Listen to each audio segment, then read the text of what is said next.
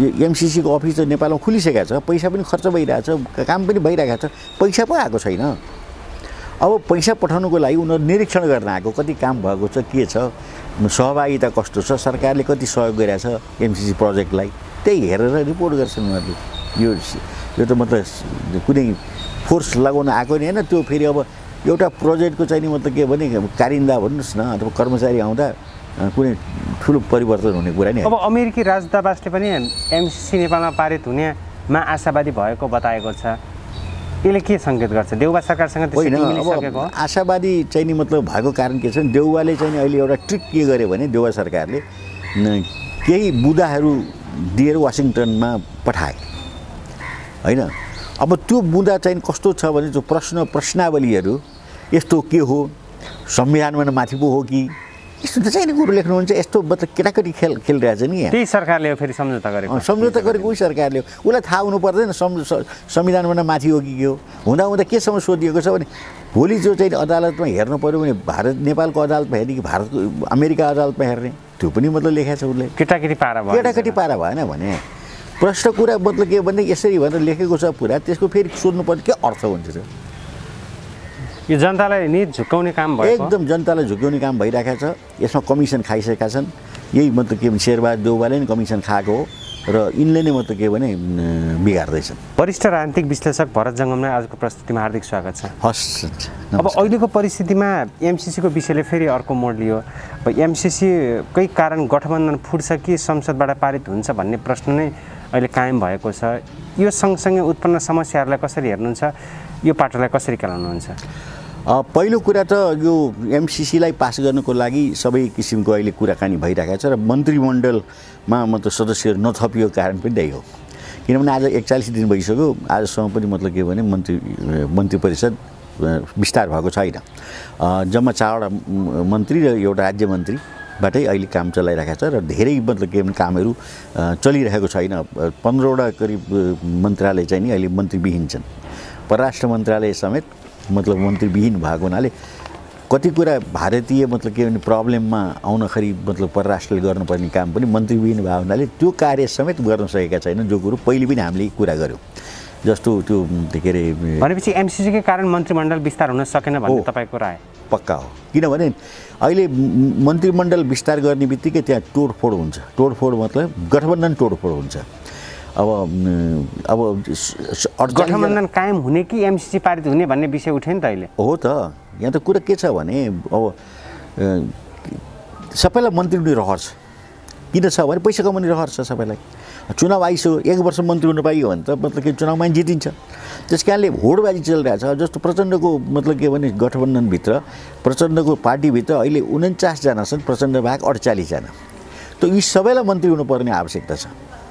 र अब सातजनाभन्दा त बढी मतलब के मन्त्री जाँदैन।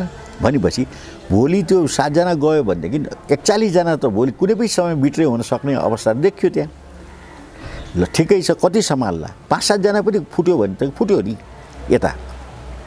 त्यस्तै यता माधव कुमार नेपालतर्फका नि जति पनि मतलब सदस्यहरू छन् तिनलाई पनि लगभग लगभग सबै चाहिँ मन्त्री हुन्छु भन्ने दाउमा बसिरहेछन्।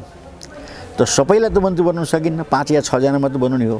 भन्दाखेरि पाँच या छजना भयो भने नि एमाले छोडेर त आए। माधव कहाँ? भोलि माधवलाई छोड्न के भयो? मन्त्री दबाएपछि मन्त्रीमण्डल त विस्तार भएपछि त फेरि चेन्ज फेन्ज त हुँदैन। हो त्यही कुरा चाहिँ तपाईँको यो उपेन्द्र यादवको पनि लागेको छ हेर्नुहोस्। उपेन्द्र यादवले नि सातजना मन्त्री मागिरहेको छ। सातजना मन्त्री अब उसलाई मन्त्री ठाकुर समेतलाई दिने हो कि? उनीहरूलाई मात्र दिने हो? भोलि सबै चाहिँ नि मतलब के भने अब त्यो चाहिँ नि पार्टी कस्तो छ चौतिसजना छन् अहिले उनीहरू कुनै पनि समयमा कति पनि कहीँ पनि बिक्न पनि सक्छन् छोड्न पनि सक्छन्। त्यो अवस्था पुगेको छ उनीहरूको पनि। सबका सबलाई मन्त्री दिन सकिन्न। त त्यसैले अहिले शेरबहादुरलाई बडो मुस्किल चाहिँ के छ भने सबलाई मन्त्री दिन्छु भन्ने र एमसिसी पास गर्ने। एमसिसी पारित गराउन पनि देउबालाई दबाब छ भन्ने कुरा हो। होइन दबाब कहाँ आउँछ? दबाब त किन ऊ त आफै दबाबमा आफै परेछ नि। उसले नै मतलब के भने दुई हजार पचहत्तर सालमा उसैको मतलब के भने प्राइम मिनिस्टरसिपमा ज्ञानेन्द्र बहादुर कार्की गएर चाहिँ नि गरेको चाहिँ सम्झौता हो नि त। दबाब के हो दबाब त्यही सम्झौताले दबाब गर्नु त हो नि। उसलाई सम्झौताले दबाब गरेको छ। त्यसो भए त्यो सम्झौता अहिले गलपाँचो भएको छ। गलत फाँसो भएको छ। ठिक भन्नुभयो तपाईँले। अहिले ठिक तपाईँले भन्नुभयो सम्झौता नै अहिले अप्ठ्यारोमा परेको छ। किनभने देउबा यस्तो मान्छे हो भोलि त्यो देशै बिग्रिन्छ भने पनि ऊ उसको प्राइम मिनिस्टरसिप रहनुपर्छ। उसलाई केही मतलब छैन। यो देश बिग्रियोस् भाँडमा जाओस् यो जनता बिग्रुन् यहाँका चाहिँ ठुला इन्डस्ट्रीहरू खत्तम होस् एउटा पार्ट नै जाओस् देशको। त्यसमा पनि उनलाई मतलब छैन। अहिले हेर्नुहोस् केही बोलेको छ महाकालीको बारेमा अहिले दार्चुलामा चाहिँ तपाईँको चाहिँ के अरे बाहिरको चाहिँ भारतीय हेलिकप्टर कुद्या छ। खै कहाँबाट चाहिँ मतलब विरोध त्यो सरकारले चुइक्क बोले होइन चुक्क बोलेको छैन। अनि यो पनि तरिका हो त। उनलाई मतलबै छैन। अब बोल्ने बित्तिकै भारतले फेरि मतलब वक्रम सृष्टि लगाउँछ। उहाँ चिनले चाहिँ मिचेर चाहिँ बनाइसकेको छ घर। भने चिनसँगको सीमा विवाद कुनै पनि छैन भनेर चिनले त विज्ञप्ति जारी गरिसके नि। विज्ञान जातिको यिनीहरूले चाहिँ गर्नु पर्दैन त। तुरुन्तै चाहिँ मतलब के होइन मतलब यसमा चाहिँ फलानु फलानु ठाउँमा यति स्क्वायर फिट यति स्क्वायर मिटर चाहिँ नि द दबाएर चाहिँ तिमीहरूले घर बनायो त्यो हटाउ भन्न सक्नु परेन। होइन भने लडाइँ चाहिन्छ लडाइँ चल्छ। होइन लडाइँ चल्छ भन्दै हुनुहुन्छ। अनि के त तपाईँ हटाउ भनेपछि हटाउनु नहटाउ भनेपछि के अन्त गोल ठोक्नु पऱ्यो नि त्यसलाई त्यो मतलब के बिल्डिङलाई चुप्लाएर राख्ने कुरो भएन। अस्ति चीन र म्यानमारको सिमानामा बिसजना म्यानमारका सेना मरे। अनि चिनले त हेपे हेपे सप्लाई गर हे- उ- उहाँ तपाईँको चाहिँ भारतको चाहिँ कति ठुलो भूभाग चाहिँ अहिले चिनले हडपिरहेको छ। लद्दाखलाई। भारत बोल्न सकेको छैन। अब यहाँ अहिले बोलोस् त। त्यसैले यो सबै मतलब के भने अब चिन अलि मिछा प्रवृत्तिको हो किनभने चिनको मतलब के भने केन्द्रीय सरकार बस्छ बेजिङमा अब यो टिबेटियनलाई के मतलबै छैन अब हिमालभन्दा धेरै ओर आइसकेको छ अहिले तपाईँको चाहिँ नि हाम्रो चिन पहिलेदेखि नै आएको हो उनलाई त त त्यति नै मतलब के भने पनि छोडिदिए भए हुन्थ्यो अहिले छोड्दैन छोड्ने कुरै गर्दैन त्यसैले यो चाहिँ नि सरकार पङ्गु सरकार भयो काम नलाग्ने सरकार भयो असक्षम सरकार भयो न परराष्ट्र नीति मिलाउन सक्छ न मतलब छिमेकीको चाहिँ नि मतलब के भने व्यवहार मिलाउन सक्छ न चाहिँ तपाईँको चाहिँ नि एमसी एमसिसी जस्तो चाहिँ नि मतलब के भने घातक सम्झौतालाई फाल्न सक्छ। फाल्न सक्दैन यसले। पारित गराउन यसले प्रश्न ल्याउँछ हेर्नुहोस् न। र चाहिँ नि यो गठबन्धन टुट्छ। यो मैले हेरिसकेँ। यो अहिले ए पारित नभएपछि गठबन्धन टुट्छ। टुट्छ। अब जस्तो आज मैले एक्काइस गते बोलेँ भन्नुहोस् न भाद्रको एक्काइस गते हामी कुराकानी गर्दैछौँ। तपाईँले एक दुई घन्टामा पठाउनु होला होइन? अब तेइस गते तपाईँको चाहिँ नि संसद बोलाइएको छ। संसद बोलाइएको दिनै मतलब के भने त्यो प्रस्तावलाई चाहिँ अगाडि बढाउँछ यिनीहरूले। या पच्चिस गतेसम्म पनि तपाईँको अब गर्नुपर्ने कुरा धेरै छ त्यहाँ जस्तो बजेट पास गर्नु छ। तपाईँको धेरै के अरे यो ऊ के अरे अध्यादेशहरू पास गर्नु छ। त बाह्र कि दस बाह्रवटा कति अध्यादेश छ। अब त्यसमा कति रिजेक्ट गर्ने कति चाहिँ नि छोड्ने या राख्ने त्यो छ। त यी सबै कुराहरू चाहिँ नि मतलब के नि अहिले संसदलाई धेरै बिजनेस छ अन्त काम छ। तर प्रायोरिटीमा चाहिँ शेरबहादुर के चाहन्छन् भने एमसिसीलाई ल्याउन चाहन्छन्। र हाटुटमा ढाकढुक गरेर सबैलाई मन्त्री दिन्छु भन्यो झुटो बोल्यो। अनि पास गरिसकेपछि अनि जति चाहिन्छ त्यति मात्र मन्त्रीमण्डल दिने। अब तर के छ भने अब शेरबहादुरभन्दा धेरै बाठा बाहिर छन् हेर्नुहोस्। किन शेरबहादुरजीले बदमासी के गरिसक्यो भने उमेशलाई बिचमा छिरायो नि। चट्ट पकेटबाट नाम निकालेर त्यत्रो चाहिँ नि मतलब के भने स्वास्थ्य राज्य मन्त्री बनाइदिए। जो स्वास्थ्य माफिया हो शिक्षा माफिया हो जसलाई नेपाली कङ्ग्रेसभित्रबाट ठुलो चाहिँ विरोध आइरहेको छ। अब अहिले गृह मन्त्रालयले एमसिसी सम्झौतामा इङ्कित गरेर त्यस्ता विरोध नगर्न हुनको लागि अनुरोध गरेको छ जनता समक्ष अथवा जुन अभियन्ताहरूले विरोध गरिरहेका छन् त्यस्ता विरोध नगर्न भनेर उसले निर्देशन दिएको छ। एमसिसीको विरोध गर्न नपाइने अवस्था हो अब। अब नपाइने हो भने मैले नि बोल्नु भएन नि। म त बोल बोलिरहेको छु त विरोध गरिरहेको छु नि होइन? विरोध त गर्न पाइन्छ नि। प्रजातन्त्रमा विरोध गरिएन विरोध होइन सडक। सडकमा चाहिँ अवरोध गर्यो आदि इत्यादि गर्यो भने गृहले चाहिँ नि मतलब त्यहाँ चाहिँ आफ्नो ठेगान लगाउने काम त त्यो चलिआएकै कुरा हो नि। त्यो कुन ठुलो कुरो हो र। होइन भोलि चाहिँ नि मतलब के भने सडक अवरोध गर्यो भने सरकारले त्यसलाई चाहिँ खुलाउँछ। अवरोध गरेको सडकलाई। होइन तिमीहरू विरोध गर्न चुप लाएर त सरकार बस्दैन। उसको ड्युटी हो त्यो। उसको ड्युटी उसलाई गर्न दिनुपर्छ। हाम्रो जनताको ड्युटी जनताले गर्छ। अनि जनताले एमसीका प्रतिनिधि मण्डलहरू नेपाल आउने भएर नै त्यो सुरक्षा सेक्युरिटी टाइट गर्न खोजेको? होइन एमसिसीको चाहिँ मतलब के भने जो सदस्यहरू आउँदैछन् ती सदस्यहरूको लागि त पुरा कालो झन्डा देखाउने आदि इत्यादि गर्ने त मान्छेले अहिले एनाउन्स गरिसकेका छन् होइन जतिसुकै सेक्योर्ड किसिमबाट ल्यायो भने एमसिसीको चाहिँ नि मतलब के भने पदाधिकारीहरू झर्ने बित्तिकै त्यहाँ चाहिँ विरोध त देखिन्छ होइन विरोध देखे पनि मतलब के उनीहरूलाई चाहिँ नि विशेष एयरपोर्टबाटै लखेट्छौँ भन्ने कुरा पनि आएको छ। एयरपोर्टबाट त कहाँ लखेटिन्छ? तब कस्तो कुराहरू हुन्छ? तिनीहरूलाई विशेष सुरक्षा दिएर मतलब के भने लगेर कुनै होटलमा लगेर राखिन्छ। त्यो त अब कुरै भएन उखोल्टीमा लगेर राखेला या हायतमा लगेर राखेला। तिनीहरू मतलब के भने बस्छन् आउँछन् जान्छन् त्यसमा केही फरक पर्दैन। उनीहरू उनीहरू चाहिँ एउटा प्रोजेक्टको मान्छे नै हो। सरकार त होइन नि। त भारत अमेरिकन सरकार आउने होइन नि। अमेरिकन सरकारले सञ्चालन गरेको एमसिसी प्रोजेक्टको चाहिँ मात्रै निर्देशक आउने हो। कुरो पनि एउटा पार्टको निर्देशक सहायक निर्देशक त्यो पनि। त त्यसैले उनीहरू ठुलो मतलब यहाँको उपसचिव सरको सम्झनुहोस् न। अब कुनै संस्थाको उपसचिव सर सरकार होइन उनीहरू। आइएनजिओ भन्नु मतलब के भने त्यो मतलब के त्यो प्रोजेक्ट सञ्चालन गर्ने मतलब संस्था हो। त्यसैले त्यो त्यो संस्थाको मान्छेलाई के फरक पर्दैन?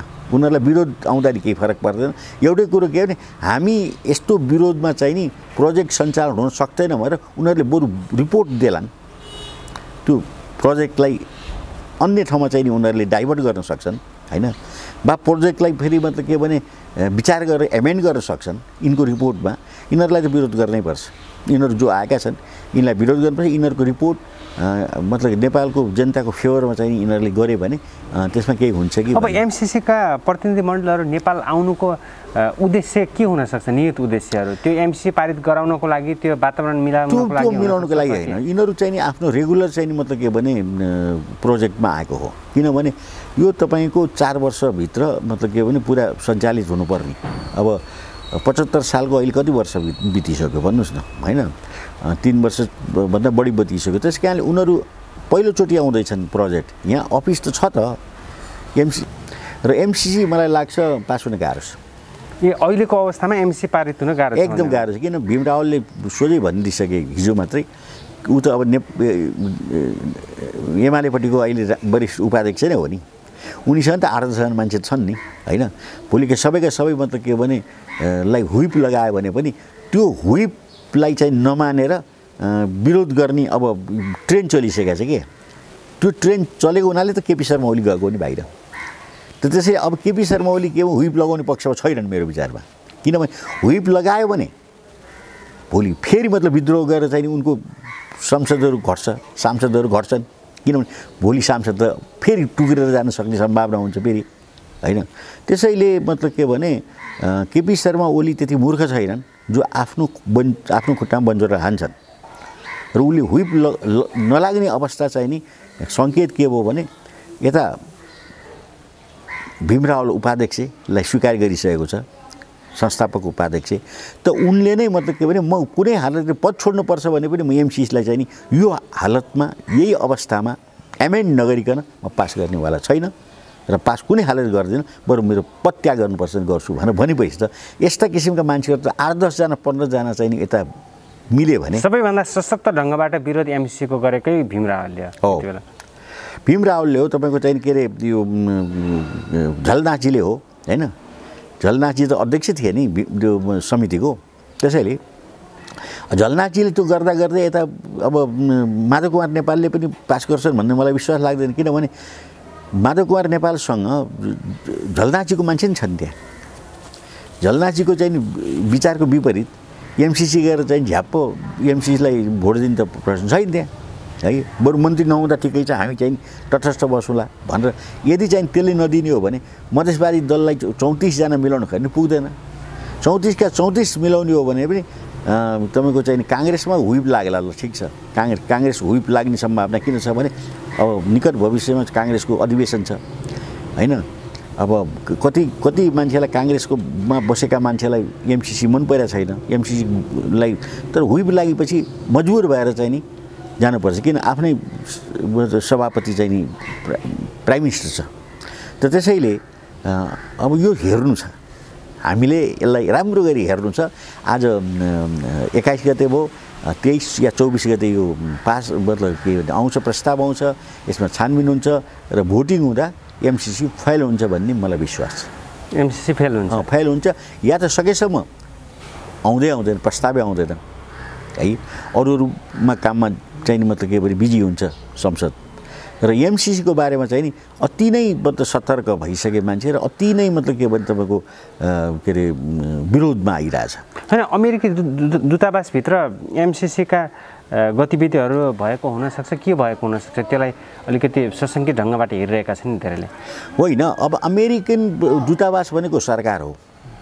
सरकारले आफ्नो प्रोजेक्टलाई मतलब संरक्षण गर्ने आफ्नो प्रोजेक्ट जसरी सञ्चालन गर्ने त्यो नीतिलाई चाहिँ लागू गर्ने काम त उसको सहयोग त। दूतावासभित्र त्यो चलखेल भइरहेको त्यो भए त हो नि स्वाभाविक हो नि उसले त कति यो सांसदहरूलाई बोलाएर चाहिँ मतलब के भने चियापानी पनि गरिसकेका छ कफीहरू पनि खाइसकेका छ कतिलाई चाहिँ नि मतलब गिफ्ट पनि पठाइसकेका छ होइन उसको आफ्नो चाहिँ नि रणनीति त छोड्ने कुरा पनि आउँदैन नि। त्यो त तपाईँ भए पनि म भए पनि त्यो ठाउँमा भएपछि त्यही गर्ने त हो नि। जसरी हुन्छ आफ्नो चाहिँ पक्षमा ल्याउने हो। अब अहिले जसरी भ्रामक कुरा हुनसक्छ अथवा एउटा हल्ला फिजाइएको छ नि अमेरिकी दूतावासभित्र हतियारको भण्डार छ यसरी त्यो जति बेला पनि बाहिर आउन सक्छ अथवा एमसी पारित हुने बित्तिकै अमेरिकी सेनाहरू बाहिर आउँछन् भन्ने हल्ला फिजाइएको त्यो त्यो हल्ला हो बेकारको। त्यो बेकारको हल्ला हो। नेपाल जस्तो मुलुकमा उसले त्यस्तो आवश्यकतै पर्दैन। होइन विश्वकै शक्तिशाली दूतावास भनिन्छ नि त साउदी अरब पछिको नेपाल होइन विश्वकै मतलब के भने दूतावास मतलब दूतावास बनाएको छ। त्यो अत्याधुनिक हुँदैन तपाईँको। त्यस्तो त्यस्तो अवस्थै छैन बाबा। नेपाललाई के चाहिँ अत्याधुनिक चाहिँ हतियारले देखाउनुपर्छ? होइन रणनीतिक हिसाबले नेपाल त नेपाल के पनि होइन बाबा उनीहरूको लागि। नेपालमा सबल ठाउँ। त्यो किसिमको चाहिँ युद्ध स्तरमा चाहिँ जस्तो अब तपाईँले भनेको जस्तो रसियामा त्यस्तो भएको थियो। रसियाभित्र अमेरिकन चाहिँ नि एम्बेसीभित्र मतलब के भने हतियारहरू आदि इत्यादि त्यहाँ चाहिँ नि खुफियाको चाहिँ नि मतलब के भने यो गर्ने के अरे यो रेकर्ड गर्ने आदि इत्यादि थियो। त्यो पत्ता लगायो। सोभियत रुसले त्यो टाइममा। त्यो जब मतलब उनीहरूसँग एउटा शीत युद्ध भइरहेको थियो भने अहिले चाहिँ त्यो अवस्था छैन। त्यो अवस्था छैन र भनेपछि दूतावासभित्र हतियार छ। भन्ने कुरा भ्रम हुन्। भ्रम हुन् भ्रम हुन् बेकारको कुरा। अब जे बोल्न त जे बोल्दैन भन्छ यहाँ कति म हुँ भन्ने चाहिँ नि राजनीतिक विश्लेषक भनाउँदै हाले ए यस्तो छ उस्तो छ यहाँ छ उहाँ छ त्यो होइन। गुम्बाहरूमा हतियार भण्डार छ भनेर त। बेकारको कुरा हो केही छैन हेर्नु नेपालमा। हो गुम्बाहरूमा कुनै समयमा चिनमा थियो। अहिले त चिनमा त्यो पनि छैन। सबै गुम्बा अहिले त चिनको सैनिकले चाहिँ नि खान तलासी गरेर मात्र चाहिँ गुम्बालाई त्यहाँ धर्म कर्म गरिदिन्छ। पहिले थियो यो चाहिँ तपाईँको चिनले वास्तव के चिनले लिनुभन्दा अगाडि भन्नुहोस् न लासामा धेरै अमेरिकनहरू मतलब ऊ जस्तो लामा जस्तो बनेर बसेर अनि अमेरिकन चाहिँ तपाईँको हात हतियारहरू थियो गरे। त्यही कारणले त चिनले लखट्यो पनि नि त उसलाई के अरे के अरे दलाई लामालाई होइन? दोस्रो खम्पा उत्पादन गरिरहेको छ अमेरिकाले भनेर पनि त भनिन्छ नि। होइन त्यो खम्पा उत्पादन गरेर खम्पा समाप्त भइहाल्यो नि। खम्पा कहाँ अब रह्यो र तपाईँको आजभन्दा चालिस पैँतिस वर्ष अगाडि नै समाप्त हाम्रै नेपालकै तर्फमा मतलब हामीले समातेर ल्याएको होइन खम्पाको हात हतियार ल्याएर चाहिँ काठमाडौँ देखाएको थियो। प्रदर्शनै गराएको थियो। हामी हाम्रो नेपालको तर्फबाट मतलब खम्पाहरू उहाँका विरु विद्रोही खम्पाहरू अमेरिकाद्वारा सञ्चालित थिए तर हाम्रो नेपाल भूभागमा बसेर गरेका थिए। त्यो टाइममा तपाईँको पञ्चायती टाइममा हो। त्यसलाई चाहिँ समापन गरेर त्यसलाई समाप्त गरेर त्यसका हात हतियारलाई गरेर उनीहरूलाई मान्छेलाई चिनमा बुझाइदिएर हात हतियार यहाँले नेपालमा ल्याएको थियो। त्यो त खम्पालाई समाधान गरेर त नेपाली सैनिकै हो। त्यस्तो कुनै रणनीति चाल्न सक्छ यो बेला अमेरिकाले? एमसिसीकै कारण? स- सक्दैन। चाल्दैन। किन सक्न त किन नसक्नु अमेरिका तपाईँको यति पावरफुल छ तपाईँको। चिन विरुद्ध गतिविधि गर्नको लागि अमेरिकाले होइन चिन विरुद्ध गतिविधि गरेर नेपाललाई युज गर्नु छ। पर्दैन कि उसलाई? उसले जहाँ पनि बसेर जे पनि गर्न सक्छ।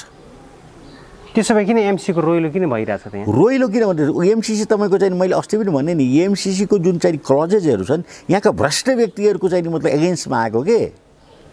तर हामीले चाहिँ मतलब त्यो फिल के गर्यौँ भने ती पो भ्रष्ट भए त हामी नेपाली त भ्रष्ट छैनौँ नि। त्यस कारण अहिले हामीलाई यो आवश्यकता छैन पो भने त। पै पैसै नल्याउनु विकासै नगर्नु भनेको छैन। त्यो क्लजेसहरू जो छ एमसिसीको चाहिँ भित्रको क्लजहरू छ नि बुँदाहरू दफाहरू जो छ नि त्यो चाहिँ नि हाम्रो चाहिँ नि मतलब के भन्छ सभरेन्टीलाई हाम्रो मतलब के भने यो स्वाभिमानलाई निचर्ने अथवा थिच थिच्ने किसिमको भयो। तर यी बेसरम चाहिँ नि नेताहरूलाई केही मतलब छैन त्यो फेरि।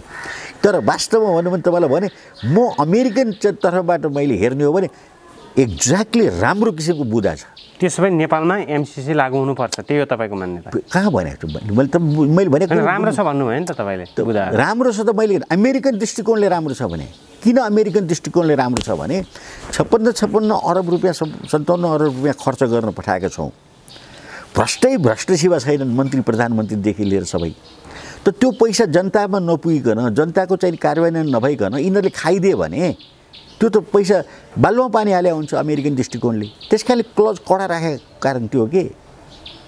त्यो क्लच कडा फेरि हामीले किन विरोध गर्नुपर्ने अवस्था आयो भने ती पो भ्रष्ट भए त हामी त भ्रष्ट छैनौँ नि। पख राम्रो चाहिँ मान्छे आयो भने तिमीले त्यो क्लच पनि राख्दैनौ। जो क्लज अहिले तिमीले राखेका छौ। इमान्दार मान्छे र नि निस्वार्थ भावको चाहिँ नि व्यक्तिहरू चाहिँ नि यो देशको चाहिँ शासक बन्यो भने तिमीले क्लजै राख्दैनौ।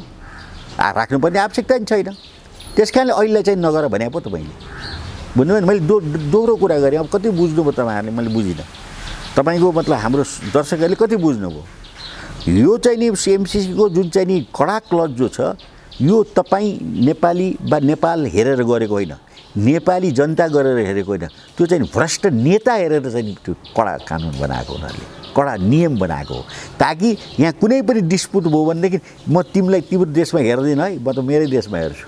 यहाँ कुनै पनि मतलब के लेखा हेर्नु पऱ्यो भने तिम्रो लेखा अधिकृतले हेर्ने होइन मेरो लेखा अधिकृतले हेर्छ। किनभने घुस खाएकोले समात्न सक्छ। तिमीहरूले घुस खान सक्दैनौ। त्यो हो नि त कुरा। यिनीहरूलाई त के भनेदेखि घुस खाने चाहिँ मतलब के भने कुरामा यिनीहरू बडो मतलब ऊ आउँछन्। तर यो चाहिँ नि घुस खान नपाउने भए तापनि यिनीहरूलाई त्यो घुस अन्डर एउटा मतलब भनौँ न टेबलमा यिनीहरूलाई सन्तुष्ट पार्ने किसिमबाट दिइसकेका छ जसको कारणले गर्दा यिनीहरूले त्यो मतलब के भने स्वीकार गरेको हो। र अमेरिकाले तपाईँको दिएका यी सम्पूर्ण चाहिँ मतलब कुराहरूमा अफ्रिकन मुलुकमा या ल्याटिन अमेरिकामा तपाईँको नाइन्टी पर्सेन्ट नेताले खान्थे दस पर्सेन्ट जनतालाई जान्थ्यो हो त्यही किसिमको चाहिँ मतलब नेपालमा हुनु छ भन्ने आशङ्काले उनीहरूले यो चाहिँ कडा चाहिँ नियम बनाएको हो। अब त्यो नियम चाहिँ नि हामीलाई चाहिँ नि आवश्यकता भएन। हामी बाहिर बस्ने विश्लेषकलाई अथवा हामी चेतनशील नागरिकको लागि चाहिँ नि नेपालमाथि दबाब भयो। नेपालको जस्तोसुकै बदमास यद्यपि यो यो संविधान म मान्दिनँ।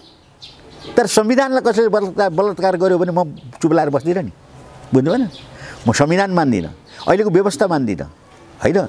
यो चाहिँ मतलब के भने भ्रष्टहरूलाई चाहिँ मैले तुरन्त थुनामा राखेर कारवाही गर्नुपर्छ भन्ने मान्छे भयो तर जब जब फेरि विदेशबाट चाहिँ नि मप्रति मेरो देशप्रति मेरो कानुनप्रति हस्तक्षेप भयो भने म चुप लाएर बस्नु मिल्दैन नि। यी भ्रष्ट भए भयो भन्दैमा यो देश त हाम्रो पनि त हो नि। भोलि त्यो ठाउँमा हामी सच्चा नागरिक पनि त पुग्न सक्छ नि। यिनीहरूलाई भोलि जेलमा कोचेर सच्चा नागरिक चाहिँ नि मतलब के सचेत नागरिक चाहिँ नि देशको सत्तामा पुग्यो भनेदेखि त फेरि व्यवस्थै अर्को हुन्छ। कुरो बुझ्नु भएन त्यस कारणले मैले दोहोरो कुरा गर्दा तपाईँले कोही अहिले ठ्याक्क तपाईँले ए त्यसो तपाईँ एमसिसी पास गर्ने पो हुनुहुने रहेछ भने। एमसिसी पास गर्ने म होइन।